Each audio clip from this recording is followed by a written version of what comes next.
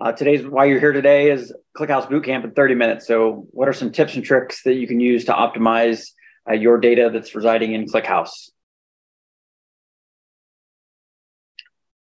And who are we? I'm Adam Jennings, Senior Solutions Architect, uh, Double Cloud. I'm based here in the United States in Indianapolis. And with me today, I have Victor on the call. Yeah, so everybody's hi. So my name is Victor Kislev. I'm head of a product at Double Cloud, and I have a special t-shirt today because I will ask a stupid question so to Adam during his presentation. okay, let's go. There, there, are no stupid questions, right? Uh, you know, yeah, yeah everybody say that. right, exactly. And so, what is Double Cloud? It's a platform built for end-to-end data analytics uh, using some managed open source technologies. And today, we'll primarily be talking about ClickHouse. So here's uh, four of the most common questions we, that we get asked by our customers uh, when they're dealing with and setting up and trying to optimize their ClickHouse cluster. So how do I optimize my table schema? Um, you know, a little hint of what's to come. We'll talk about order by and compression, sorting and data locality. Um, should I shard my ClickHouse cluster? So should you do it? And um, I'm going to guess the answer for most of you will be no, and I'll describe that a little bit later on. Um, should you use materialized views or projections? Um, in ClickHouse, materialized views are basically triggers versus projections are more like views in other databases. So we'll talk about the differences there. And then does ClickHouse support joins? Oh boy, do we get this one a lot. And I think that there's some historical reasons for that uh, that we can go into when we get to that part of the webinar. So with that, um, how do I optimize my table schema? So you really need to think about how you're going to be accessing that data once it's once it's stored in your in your cluster. And so uh, you take a look at this dashboard here. Uh, you're, you're, it's a monitoring dashboard here. You're storing data over time. You know, each host has multiple devices, whether that's CPU, network, RAM, etc. And then each of those de- devices on that host has multiple measurements. Um, so if you look at the, the right hand side of the bottom there, a typical query for this graph would be, you know, selecting the host every five minutes is your time. You want the average CPU during those five minutes from that table. And then, you know, you have a front or a where with the date. And then we only want one measurement per graph, right? So, you know, and measurement equals CPU usage. Uh, and then we're going to group by timestamp and then the host. And so you think about you know that typical query how would i optimize my table in clickhouse?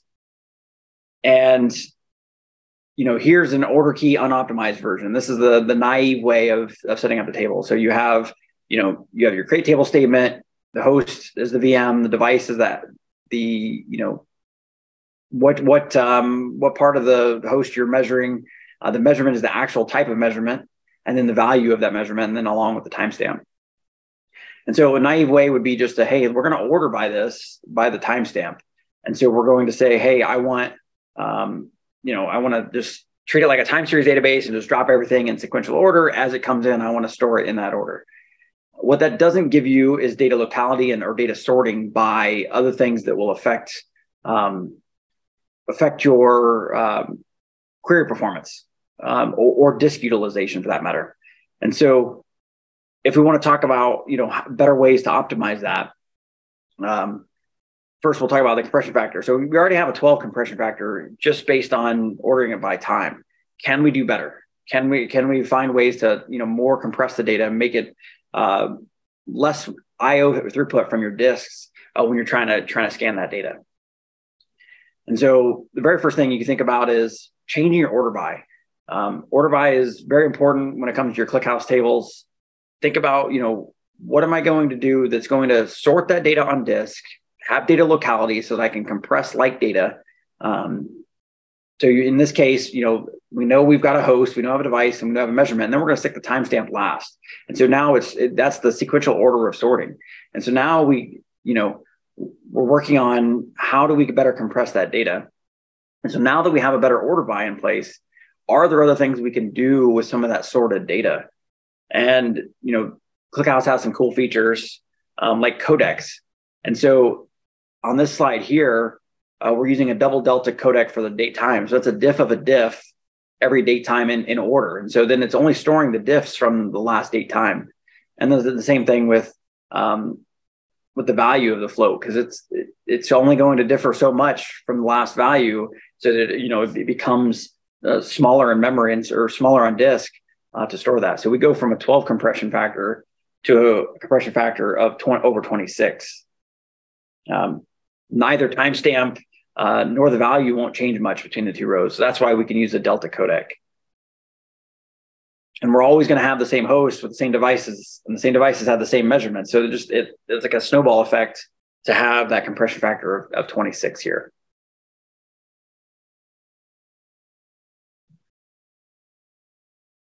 So then you go back and you think about that first query that we did on the dashboard.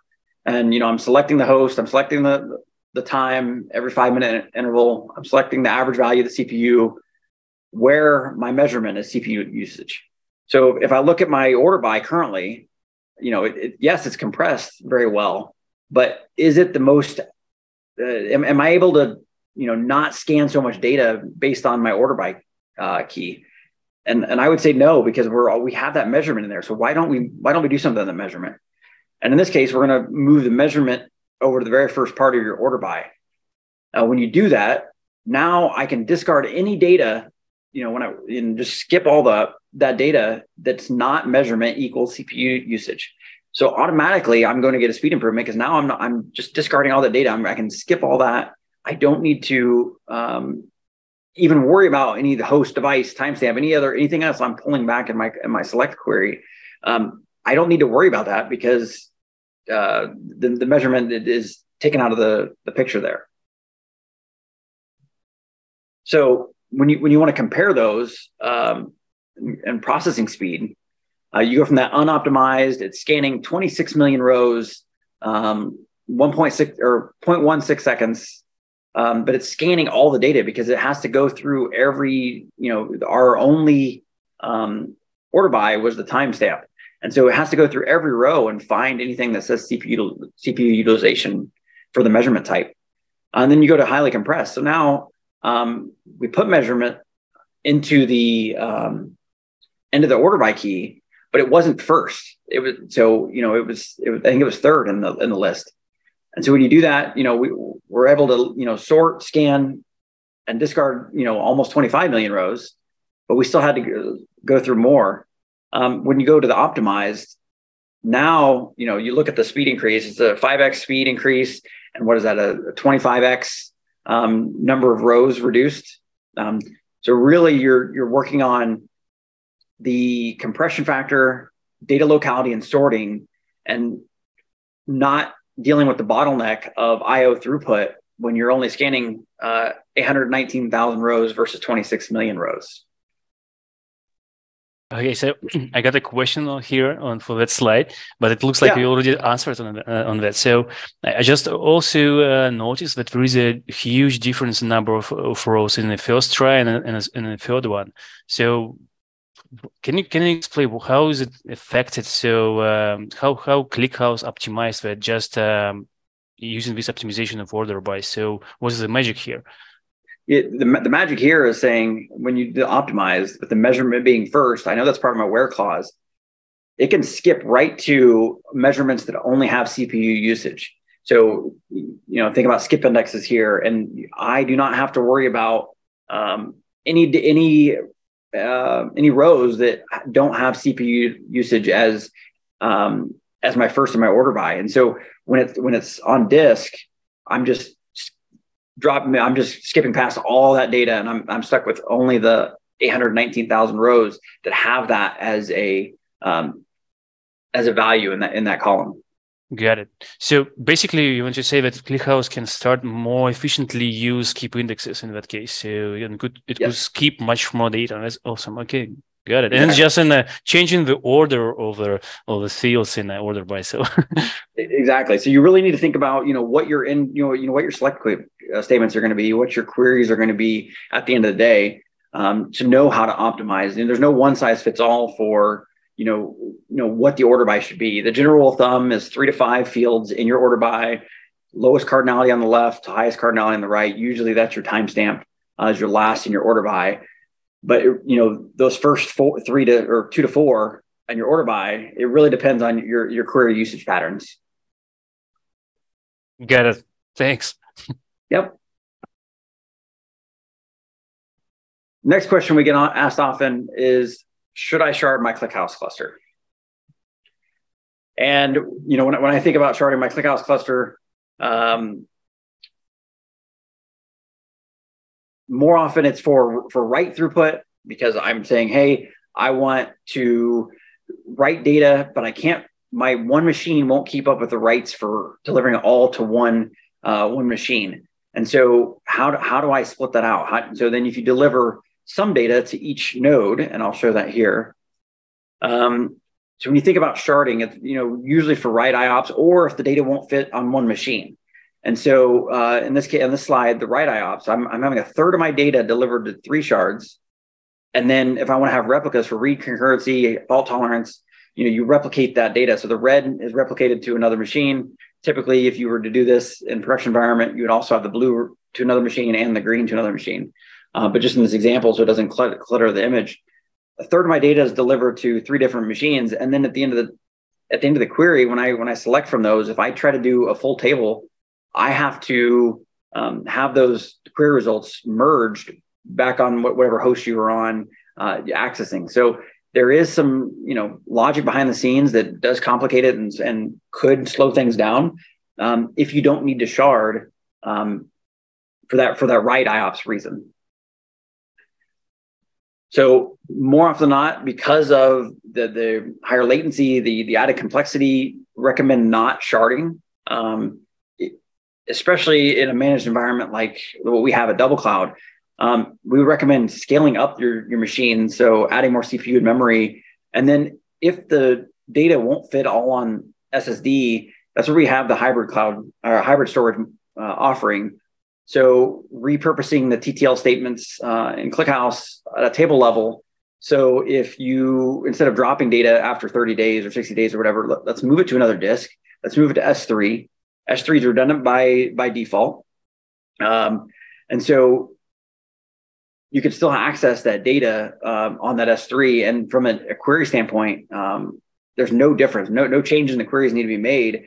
Um, usually, it's using the you know partition by you know partition by month. Let's say let's move it move the data over to S3, and then if an end user queries data that's on there um, behind the scenes, we'll cache some of that and we'll we'll, we'll make it uh, accessible um, to to the to the uh, query statement. Um, I tell my customers I, I, like to see you know the base dashboards hitting SSD, and if somebody wants to move the slider back a year, you know, and in their dashboard to access more data, okay, then then they can wait a few seconds for that data to be returned from from S3. Got it. So, and again, I have a stupid question. So, Go I heard it. about the zero replication, and uh, and Yulia announced feature about uh, read replica, parallel read replicas. Uh, can you yep. elaborate a little bit more about that and how sharding and replicas uh, is fitting here? Yeah, so um, zero copy replication, you know, it's not really for the speed aspect. Uh, it's more how the data is stored, and it's already stored in S3. Um, the the multiple replicas with the, the parallel reading um, if you have a replica, replications uh, or replicas of your cluster, it can access that S3 in parallel. And I think that's a new feature released last month. Um, so instead of instead of one replica trying to scan um, all the data in S3, you can have all your replicas um, trying to scan that different parts of the data in S3, and that way it can return the results step faster. And that used to be a feature only available in the sharding uh, side where you you could do like basically distributed um, queries and then rejoin those you merge those result sets. Um, and in this case, that's now available on the replica side. So especially with an S3 backed um, hybrid storage, um, makes for faster performance. So basically, so ClickHouse is moving to decoupling storage from from compute, right? So um, that's, uh, that's remove is decoupling uh, compute. Uh, so one node to a particular partition of the data. So it's awesome. Yep. Thanks.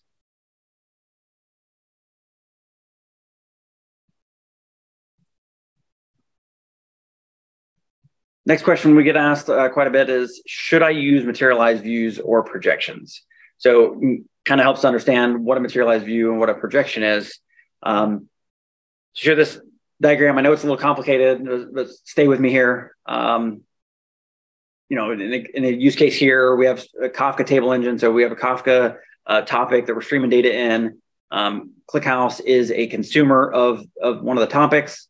And so we use the Kafka table engine in ClickHouse. And then we build a materialized view on top of that to then deliver data to another merge tree based table. So more performance, you know, the, the, the workhorse of the ClickHouse uh, table engines. And um, if you're coming from another DBMS, uh, you, you, can think of materialized views in ClickHouse as triggers. It, it's really what it is. Uh, anytime something happens on the initial table, the materialized view does something. Um, some cases, like this one here, pulling from Kafka, it may just be a direct transfer of data. So you have, you store it in a you know a ClickHouse native merge tree table, um, and then other times you use a materialized view, it's to enrich data or change data or transform data in some way uh, for for further processing or you know end user queries. And so then you know you can do um, two different two different functions with the materialized view. Uh, you can also do you know materialized views uh, landing from in a merge table and then do something with that again and then landing into another another table. Uh, projections, on the other hand, uh, they're really more like pre-aggregations. Um, sometimes changing the order by key, just ways to help speed up different queries that you're you're running on on the same table. Um, some caveats about um, materialized views and projections. Materialized views can be one to one to one, but it can also be many to one or one to many. So you can say, "Hey, I want to do some some pre-join logic, which I'll show later, or I want to, you know, do some roll-up tables." So I can do that with materialized views. Um, projections is really a one to one because it's still the data is still residing on that base table. Um, which because it's residing on that base table, you need to think about what if I'm you know want to delete data that's you know my my second data that's you know aged out. Um, if you did that and there was a projection on that table to roll up, you you you will lose some of that. Um, materialized view, it's creating a copy of the data. So storage storage requirements, uh, you know, you need to think about um, and you know what what the end goal is of the of the second table or the projection. So you think about projections.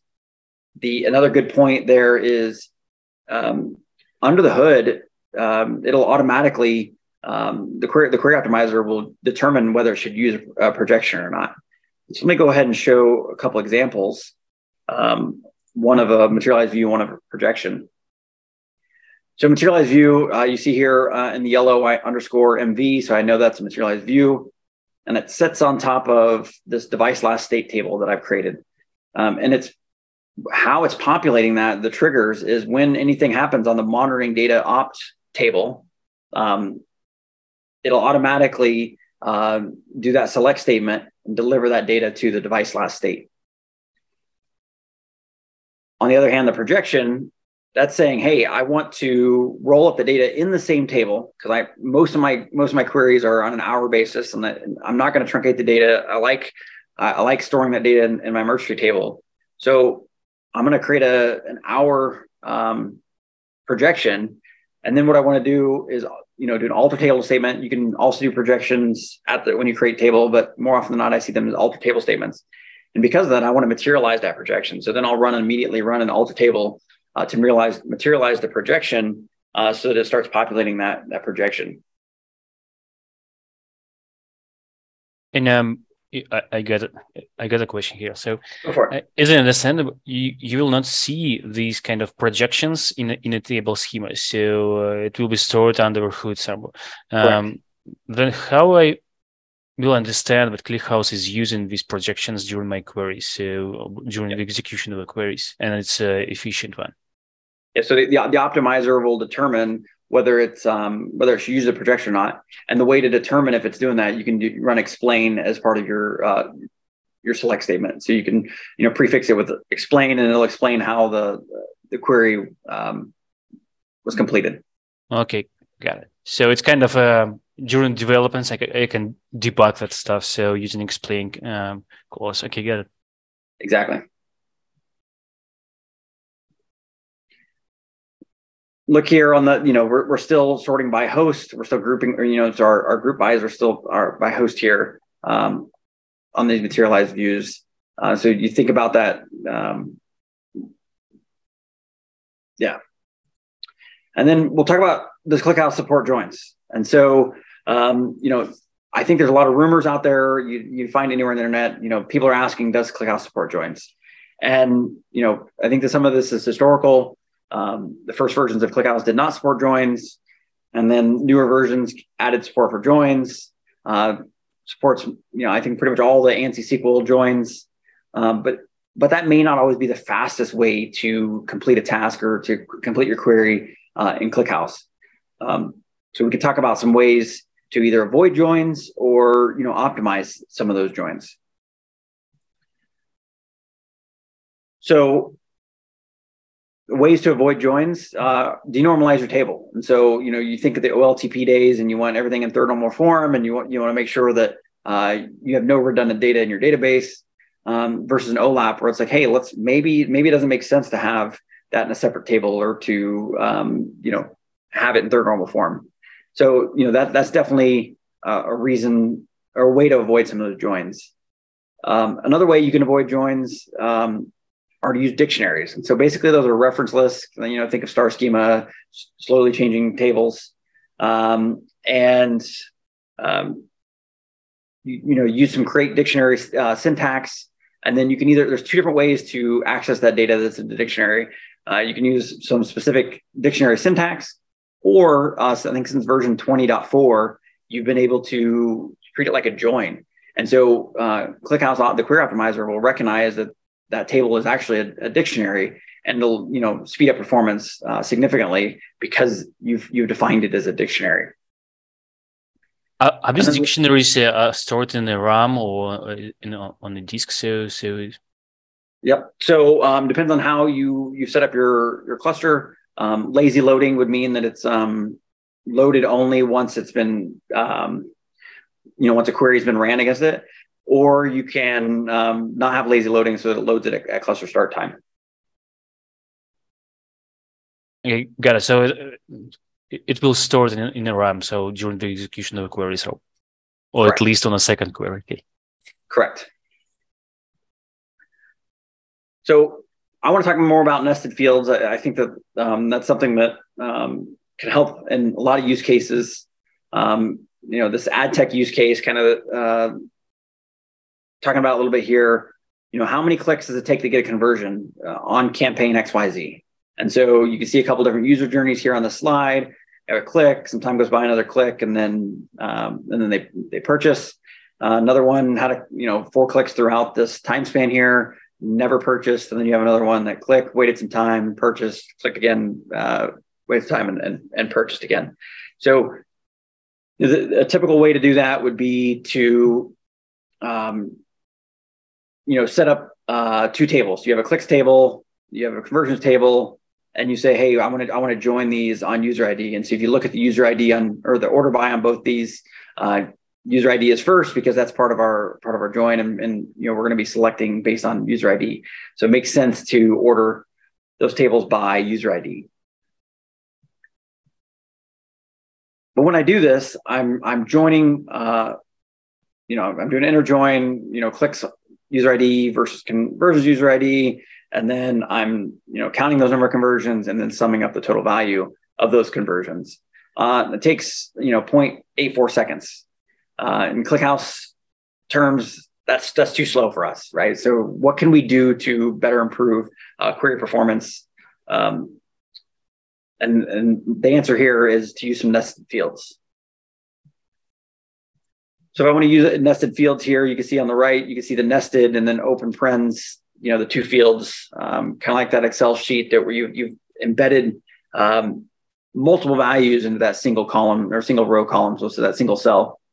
And so here I'm, I'm creating a new table, you know, using everything from the conversions, plus I'm nesting the, uh, the click timestamp and the, the campaign ID at, as that nested field again, uh, ordering by user ID. So how would I fill, how would I fill this table? So um, I can, you know, run a select as or insert as select. If I already have data in those base tables, uh, if I don't have data in those base tables, I can immediately create this materialized view to fill it. And then you can see the, the group array of statements there um, that, that, gives me the, the nested values uh, to, to insert into um, this new combined table that has the nested fields. So the data on a right table would be automatically updated uh, because it's a kind of using materialized view mechanism to update. Yeah, got it. So you don't Correct. need to uh, to do something extra or doing some extra inserts. It, it, it well depends on you know if you already have data in those first tables and now you want to replicate it over. Um, materialized view will only do triggers on new data, and so you know you can go back and say you know the way that I would do it would be to um, create the materialized view, wait a little bit, see what data has populated, find the earliest timestamp, and then do a um, insert into a select where timestamp is less than, and that way you can grab all the historical data. Okay, guys, it's a little bit complicated for me in my t-shirt. So, but okay, I got it. So you will use a materialized view to uh, to offload all that stuff. Offload it, make, yeah. it, make it automatic. You don't have to worry about it. Yeah, materialized views because they're triggers. Any new data will, will be moved over. It's only if you need the historical data. Uh, if you didn't create the materialized view when you were setting up your, your data pipeline. Okay, that's cool.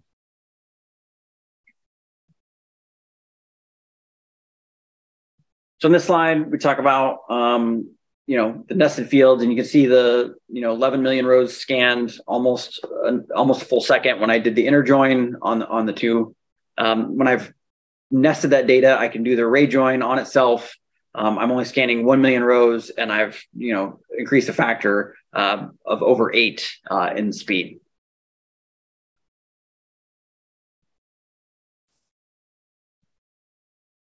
So between you know thinking about your um, wh- whether you're going to denormalize the data, which is when you're nesting it, you kind of are right. You're kind of denormalizing data. So that's a specific use case of denormalizing, or whether you're using dictionaries, think about ways to avoid uh, large table joins and putting all that in, in, in memory uh, for your ClickHouse cluster.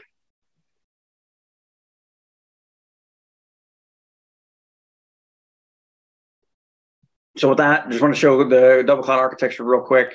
Uh, obviously, we're talking about our managed uh, ClickHouse as the main topic of today's conversation. Uh, I hinted at the, the Kafka uh, stream processing available. Um, you saw the dashboard at the beginning of our visualization tool. Uh, and then we also have a way to help get data in using our double cloud transfer. So we can help, um, you know, UI driven way of getting data into managed ClickHouse, um, visualizing that uh, at the end of the process, trying to be open source components from start to finish and cloud agnostic.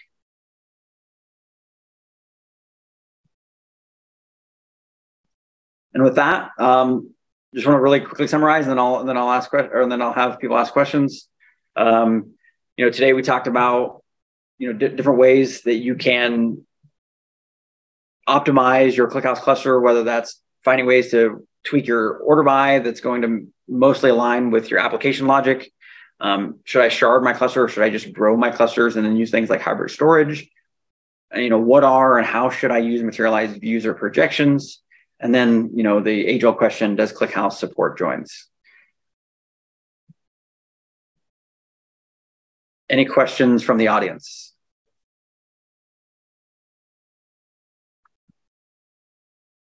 I think somebody from uh, chart have a question and raise the hand. So Alexei, uh, I think we can um, um, add the opportunity to uh, to ask your question, uh, or you can, yeah, go on.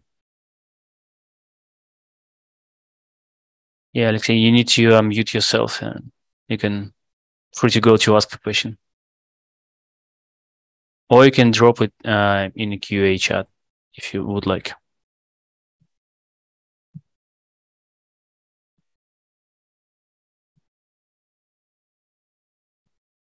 All right, I, I see one question. Oh, here it is. Um, you were describing the hybrid storage on S3 can help avoid sharding but we are using ClickHouse on-prem. If my data doesn't fit on one node, then it's not possible to avoid sharding in my case, right? And well, you know, that is definitely one reason to shard if it won't all fit on one. Uh, but you can still implement solutions by using either S3 or S3 compatible tools. Uh, so you, you know, MinIO would be something good, um, but you might might be difficult setting that up. Um, which is why you know we kind of make that as part of any time this cluster spun up in, in double cloud um, it automatically has an S3 bucket behind it. All the all the logic for um, you, using those TTL statements to offload data is already built in on, you know, quick, you know, addition of a TTL, altering your table uh, to add that S3 back storage um, for your, you know, for the on a per table basis.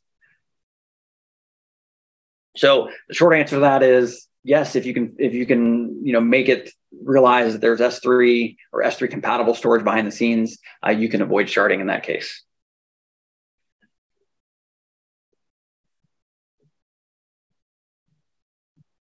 Um, I have another question. Um, I have a big table with a different query patterns, so I cannot create an order by to fit it all in, into all my queries. What would you suggest in this case? I think that's a perfect use of a projection. Um, you know, I, I kind of hinted that earlier. Um, if you want to change your order by, that's a good use of projection. So you know the data, you still want to retain all the data. So you don't necessarily need to create a materialized view and duplicate that data. Um, but you want you have a different access pattern for some of your some of your queries, and you could that's when you can create the um, the projection um, on the same table. Um, just change the order by, and then you can support multiple query patterns.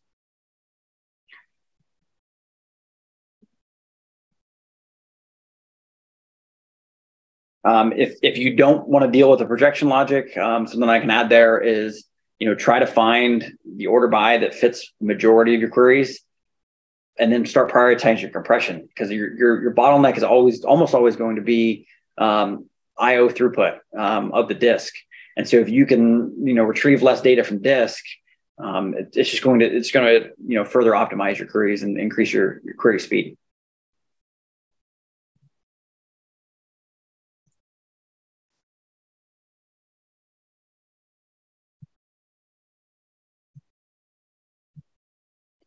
Do I have any other questions? So Alexei had his hand raised. It's not raised now, but um, if you do have something, uh, feel free to reach out to us afterwards. Um, we're always willing to assist. I even just jump on a call and, and talk about you know some of the same topics. Uh, no no questions too silly, right, Vic? yeah, no, I'm fine. Already, thanks. okay. Um, so uh, left QR code is book a meeting or a demo, and then uh, the right QR code. Uh, if you want to spin up a cluster on Double Cloud, uh, click that special offer, additional starting credits, no credit card required. Yeah, it looks like we will need to, to run another kind of type of uh, another another part of that, that webinar because we have other most common questions that we didn't answer today uh, about deduplication and how is collapsing merging trees working and but i think it's a uh, yeah we, we should run another one. All right that sounds good. Let's let's plan that victor. All right thanks everybody for your attendance. Um, feel free to reach out. Thank you